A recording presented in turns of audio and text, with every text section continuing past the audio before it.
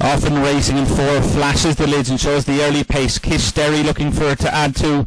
In fact, looking for its first win is now overtaken by five. Bound to be smart goes on. Six on the outside. Yankee on moves into second. Four goes back to third and two, one and three at the back of the field. But only about five and a half lengths separating them. As six is still in clear. It's Yankee on, but five now. Bound to be smart here. Looking to pick up another win here. Bound to be smart now and clear. Four Kish Derry coming back for more. Six also there, but five just about. Bound to be smart hangs on to beat six. Yankee on back in second. Then four Kish Derry is back in third. Winning time is 29.53.